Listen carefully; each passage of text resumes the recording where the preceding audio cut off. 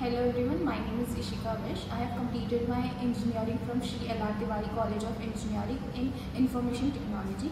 Uh, I got placed in good MNC college from L- from QSpider Vasai Virar. Uh, all the trainers here have very have very expert knowledge of- in programming and they have helped me to get this job. Uh, special thanks to all the trainers here, uh, Uday sir, Surat sir, Vinay sir and Kaustubh sir.